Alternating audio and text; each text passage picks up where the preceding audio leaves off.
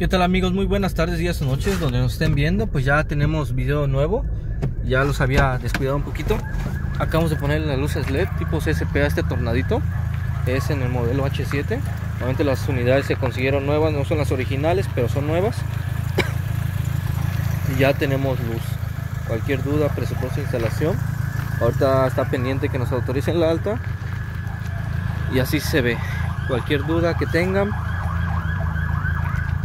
LED tipo CSP bajas para Tornado Corsa. Es el mismo faro que trae la Corsa y la Tornado. Se ven excelentes. Les voy a dar un intro de un equipo que aún no he terminado. No se los voy a mostrar hasta que ya lo termine. Esperemos que el cliente nos los traiga para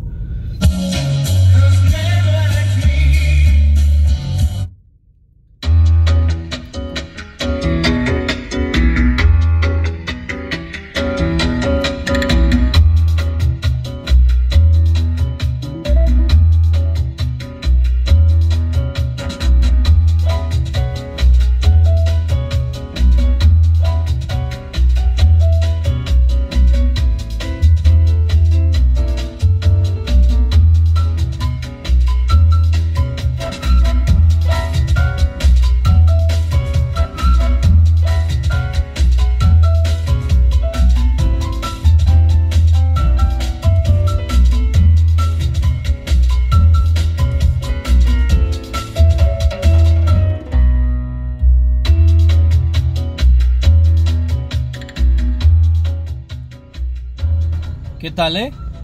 Excelente calidad de audio. Le pusimos unos medios rock series en la parte frontal. Desafortunadamente está de noche y ya quiero entregar el carro y no puedo desarmar para que vean los medios. En la parte de atrás incorporamos un Atomic Krypton 4 en el modelo de 4 canales con un subwoofer plano de la línea Monster de 10 pulgadas plano con un cajón especial. Obviamente la Tornado, Courier, este tipo de camionetitas, Sabeiro, son muy reducidas en espacio en la parte de atrás y le implementamos un cajón plano. Y así se ven las luces. Obviamente no son las originales los faros pero hacen la chamba. Cualquier duda presupuesto de instalación ahorita les muestro la parte de atrás. Pues ahí está nuestro amplificador el modelo Krypton 4 le pitamos las aletas de color negro. Es un subwoofer porteado con cajón especial para que libre espacio. Ahorita está hecho un cochinero por eso no quería hacer video pero ahí está. En la parte frontal pusimos un set de medios de la marca Rock Series el modelo 6.5 ahorita les voy a mandar el, video de la caja para que lo vean. Y se escucha exquisito. Para el tipo de vehículo no pues está toda mal